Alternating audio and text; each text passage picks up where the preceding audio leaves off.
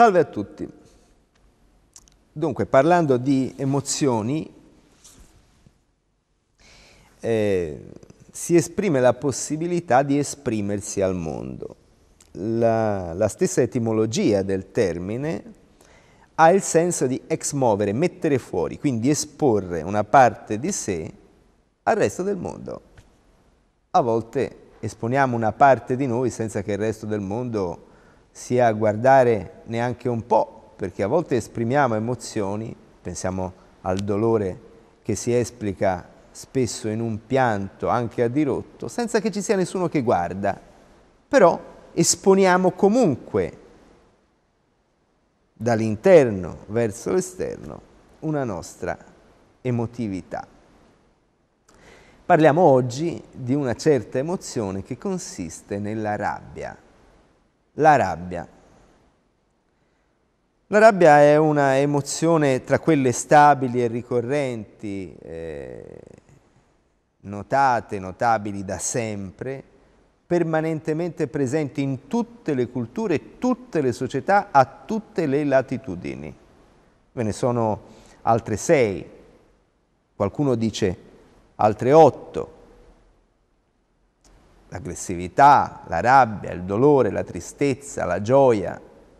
Queste sono alcune emozioni da un punto di vista sociologico, antropologico, studiate approfonditamente, poi la psicologia ha tentato, e ci è riuscita direi, a collocarle in un andamento personologico complesso, individuale e inframmezzato da circostanze di vita assolutamente soggettive. Comunque la rabbia, torniamo alla rabbia. Eh, la rabbia è generalmente un aspetto che precede una forma di aggressività. L'aggressività quindi è preceduta dalla rabbia e costituisce una valvola di sfogo della rabbia stessa.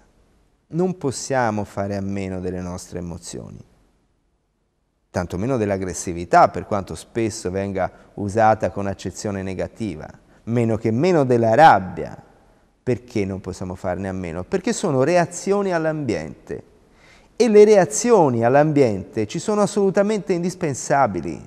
Non possiamo fare a meno di avere reazioni all'ambiente. Non siamo animali passivi, ammesso che ne esistano sulla faccia della terra. Siamo animali che interagiscono con il proprio ambiente che lo toccano, che cercano di modificarlo. Pensate a ognuno di noi con le altre persone del proprio ambito, familiare, lavorativo, sociale, nazionale. Noi tocchiamo le altre persone nel senso delle loro vite, delle loro storie di esistenza, gli altri toccano noi, ognuno tenta spesso, in modo inconsapevole, di eh, variare le esistenze proprie e quelle degli altri, pro domo, a favore, a favore della propria personalità.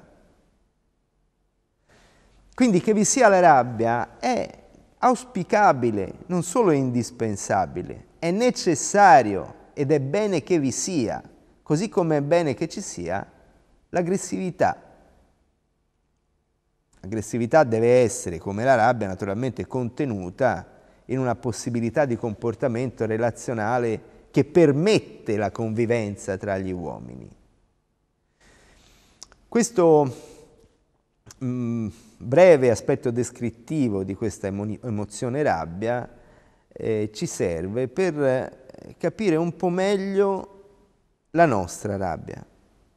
La nostra rabbia che spesso non riusciamo a tollerare noi stessi è effettivamente necessaria alla nostra stessa vita. Come si può però controllare la rabbia? Naturalmente immaginando, per esempio, che non possiamo essere rabbiosi quanto vorremmo sempre in ogni momento in cui vorremmo.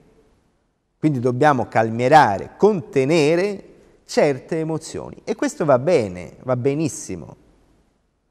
Abbiamo anche la pazienza però e la costanza di guardarci dentro le emozioni vanno viste, non dobbiamo allontanarci dalle nostre emozioni, dobbiamo guardarcele.